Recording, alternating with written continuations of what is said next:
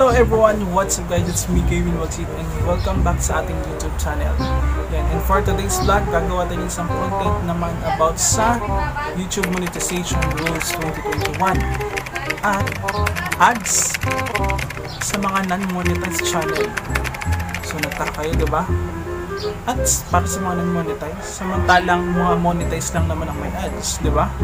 So, I'll give some information kung bakit sila nag-ads. So, malaking tanong, ah, magkakaroon nga ba ng ads ng isang non-monetized channel? Yan yung inong naging tanong sa atin.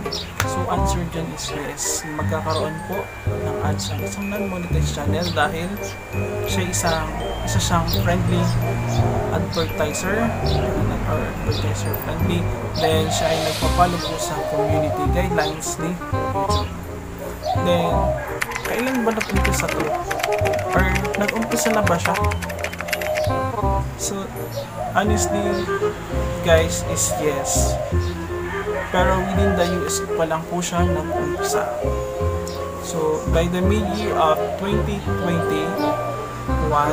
ay mag-umpisa na po siya outside in the US na mag-launch ng mga ganito sa non-monetized channel. Magkakaroon na din po sila ng ads. So, pili lang yan. Hindi natin na-sure kung sino-sino. Depende sa asang content creator na gumawa ng channel. So, makaka-receive din sila ng notifications kay YouTube na yung kanyang video is may ads na. Pero hindi po sa lahat ng video yon. So, may isa pa din dyan tanong binago ba rin yung requirement para maging isang monetized channel. Isinit ko na dito ha, kasi madami nagtatanong nito. So, ang definite answer natin dyan is no. Ang ating dyang requirements pa rin is 1,000 subscriber and 4,000 public watch hour. So, ngayon ay ito bang mga non-monetized channel ay maka-apekto sa mga monetized channel.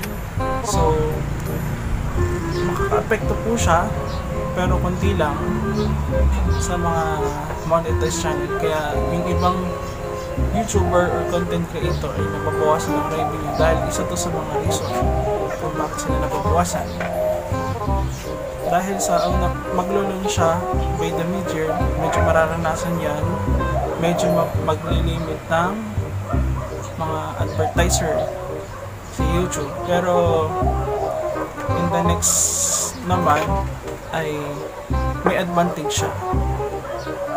Dahil mas dumami yung ads meron na sa monetize at sa non-monetize ay mas madami may ikipag-engage kay YouTube na so makihalupilo na maglagay ng ads sa mga content creator. So, yun lang, yun guys, ka, hindi naman siya ganun kalaki ang kabuwasan sa mga content creator pag nag-earn ang revenue. Dahil ang maganda dyan, sa mga monetized channel, hindi lang naman via ads kumikita ang isang content creator. Example, uh, pwede rin kumita ang content creator via super sticker, super chatters through Premiere and live stream.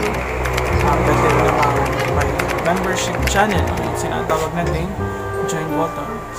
So, madami tayong ways para kumita isang monetized channel also in the merch or sponsorship. Yan, pwede rin. So, isa rin yun sa mga way. So, ang non isang non-monetized channel is siya kikita dahil ang kita nito is papasok sa YouTube. Kasi kapag ang kasi ang naglagay nito ay si YouTube eh, hindi si creator. Kasi kung na kompleto na nila yung requirements ni YouTube na 1,000 subscriber at 4,000 public watch hour. So exactly, sa kanila yung mismo patak ng revenue. Pero dahil sila isang non-monetize, uh, lahat ng nagiging kita nila is from ads ay kay YouTube ang pasok. So, hindi rin sila makakapag-decide na mag-turn on o turn on ng ads kasi hindi sila eligible. So, nagagawa lang yan sa mga monetized channel kung gusto nilang lagyan ng ads ng channel hindi. So, napaka laking iba nito ngayon darating na 2021 talagang nadadagdag so I hope then mas madaming advertiser ang pumasok kay YouTube para kasi isa tayo dun sa magiging mas mas magiging sulit. Kasi maaari silang pumasok sa atin. Hindi lang iba't ibang brands ang papasok sa atin So yun guys, ang isang non-monetized channel at ulitin ko is ano, may ads pero wala siyang earn na marireceive. At ito po ang sound niya is papasok lang kay YouTube. So medyo may kaibahan pa rin siya talaga kay monetized channel na creator ang non-monetized madaming features ang isang non ang isang monetized channel. So kung makumpleto man nila ang isang requirements to YouTube na yung para ma-upload sa YPP is ready na para sa kanila na ma-receive yung kanilang earnings. So yun ang naging isa sa mga bagong na update sa YouTube sa monetization ngayong 2021. So, kailangan nating aware din tayo sa mga ganito kasi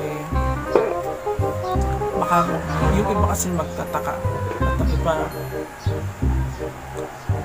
sa magtatanong, di ba? So, in this video, at least, nagkaroon kayo ng idea, ah, bakit kaya pala naman itong isang creator or isang YouTube channel is na mababa pero ads na. So this is the reason pala kung bakit sila may na. Ganun pala yun. So, ang isa din namang tanong, dalas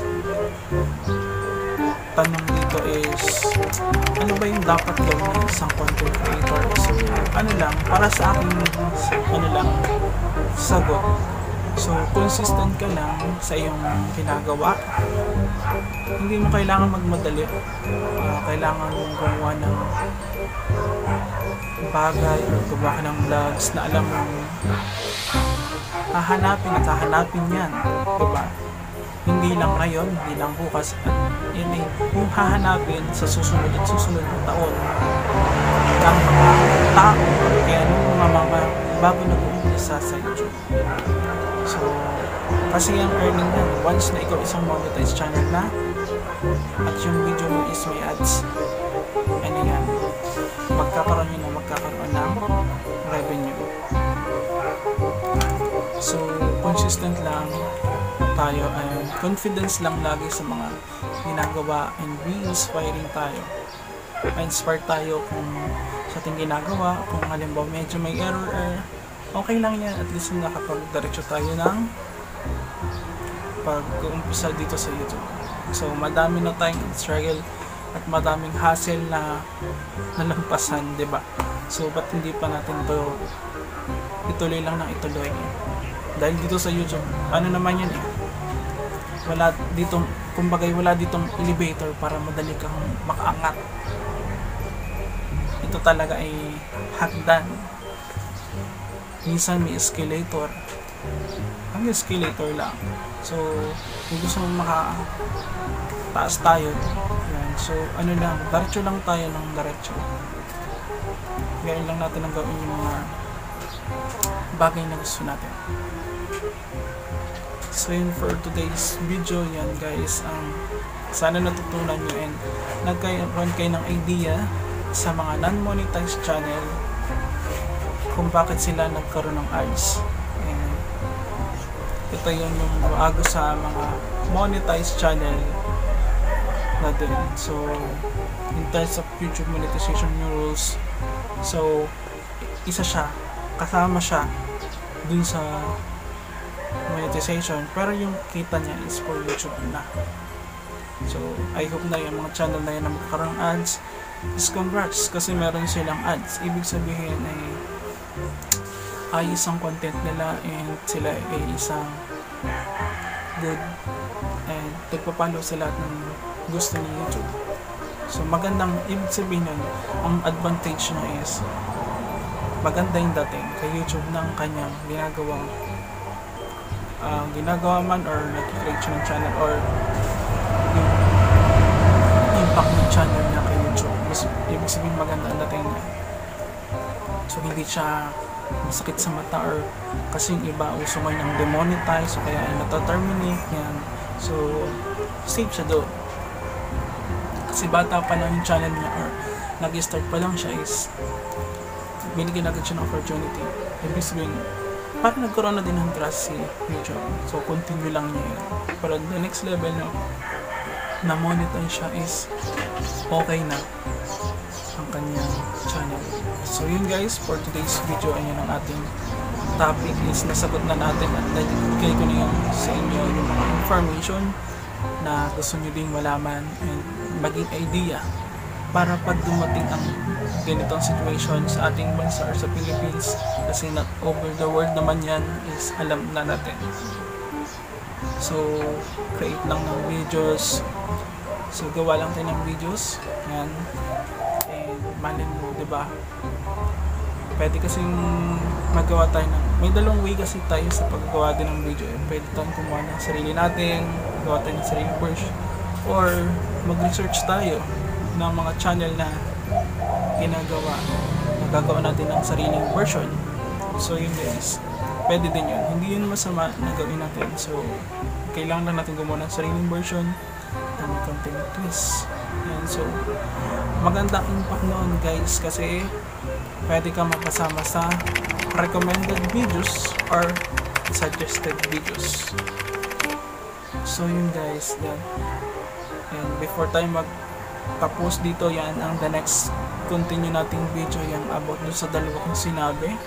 Ito ayan.